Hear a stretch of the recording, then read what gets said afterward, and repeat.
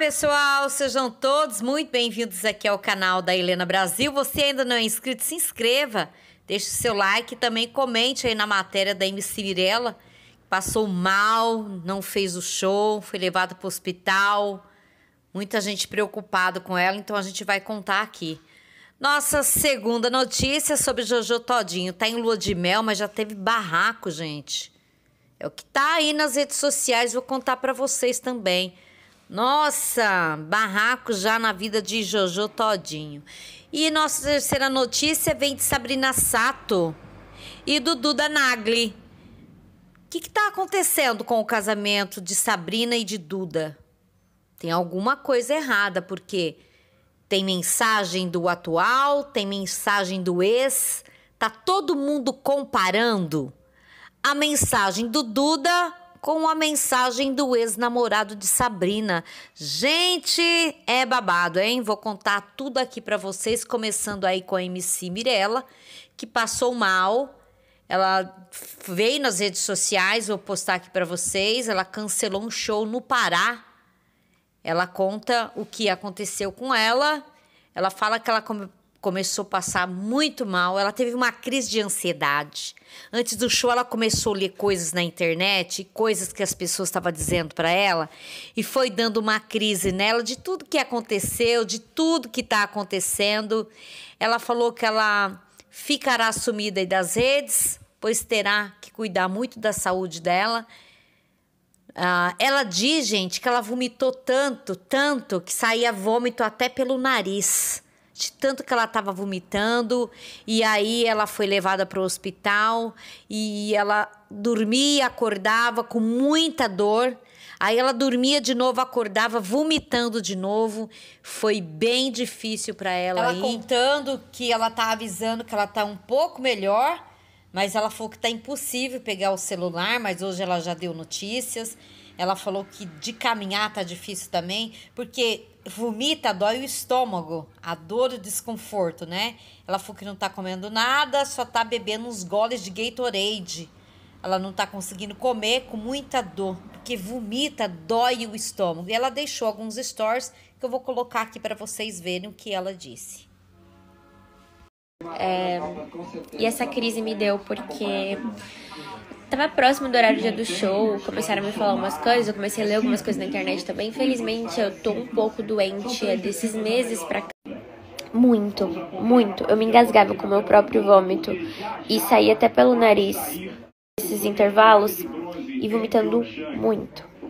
Tive que ir pro hospital.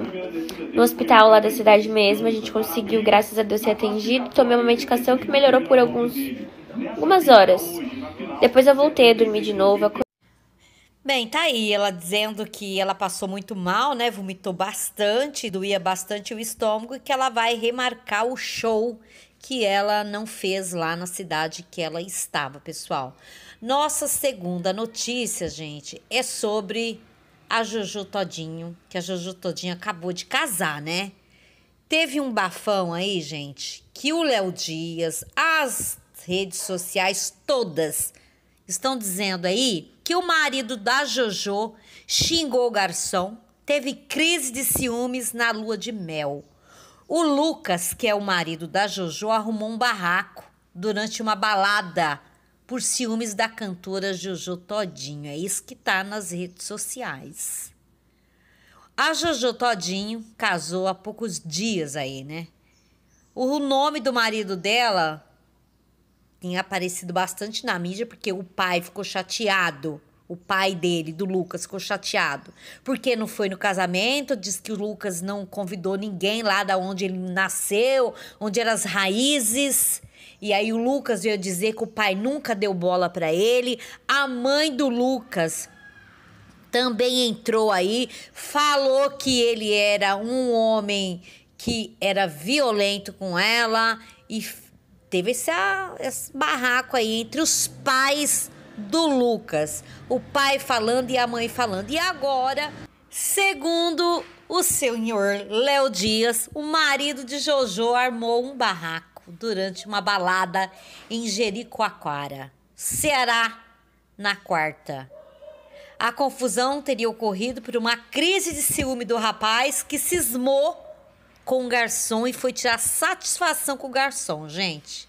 Segundo aí o Léo, o Lucas teria chamado o garçom de merdinha, puxando pela gola da camisa e chamando para briga. Nossa!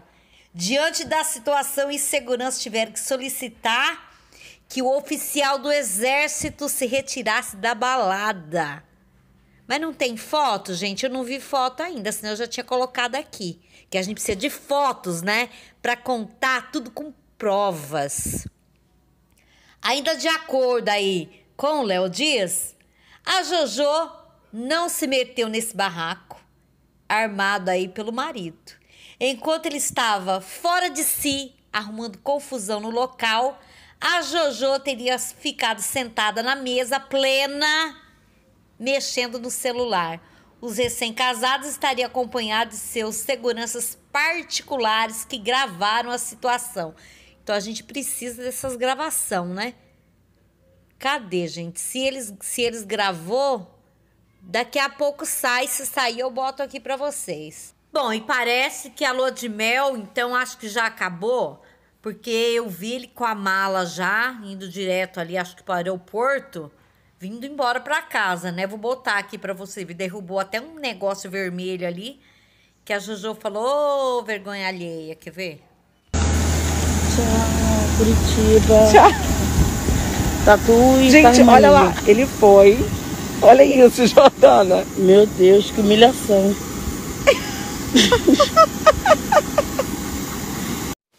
Bom, Sabrina Sato fez 41 anos e o que está pegando nas redes sociais é que a comemoração da Sabrina teve duas etapas. Sexta-feira, dia 4 do 2 e no sábado 5 do 2, o Duda Nagli não apareceu, apesar de tentar passar despercebido, as pessoas percebem, né? Aí o Léo Dias está dizendo que surge aí mais rumores, né? Deles terem terminado o casamento. Ele disse que ele está fazendo gravações, por isso que ele não foi. Mas vamos aí essa notícia aí, pessoal. Tá na revista Quem também. Mensagens do Duda e do João Vicente Castro, que é o atual e o ex da Sabrina, geraram essas comparações também nas redes sociais. Ela fez 41 anos e o marido dela, o Duda Nagli, postou uma foto da Sabrina, que é essa aqui, ó. Vocês estão vendo aqui. E postou assim: Feliz aniversário, arroba Sabrina Sato. Muita saúde e sorte, muitos anos de vida, muitas felicidades, disse ele. E ela respondeu com um emoji ali de coração pro Duda Nagli. Só que o ex-namorado dela, o João Vicente, escreveu um textão falando bastante coisas aqui para Sabrina Sato. E eu vou contar para vocês o que o João Vicente escreveu aqui para Sabrina. Olha só. Mais um ano dessa mulher que muda a vida de todo mundo, das pessoas que estão à volta dela, transforma o mundo em mágica. A palavra gratidão faz da alegria um jeito dela existir. Sabrina é bossa nova, é, é samba, é funk, é rock. Sou grato Sempre serei por tudo que a Sabrina me ensinou, apenas sendo Sabrina. As dores do mundo ela combate com amor. Sabrina é uma força da natureza, dessas que não se controla, como um furacão. Mas ao contrário desse, ela constrói tudo por onde passa, constrói laços, pontes, conforto. A rainha da vila, a rainha do Brasil, a rainha de todos nós. E temos a honra de estar perto. Sabrina é um fenômeno que acontece de 100 em 100 anos e temos sorte de estar aqui para assistir ela voar. Hoje é dia de celebrar Sabrina. Te admiro, me orgulho e te amo. E aí ela manda um emoji para ele dizendo: Muito obrigada por tudo, sempre. Te amo e colocou um coraçãozinho vermelho. E lá do Nanago parece que é um coração que não é vermelhinho, não. Tá aí, gente. Essa é a fofoca que tá aí pairando nas redes sociais, que é estranho, no mínimo, né? O cara que é esse escreveu um textão e o marido um texto pequenininho, que não dá nem para ver direito. E aí, o que vocês acham, gente? Uma hora cai aí e tem que saber o que aconteceu nesse casamento.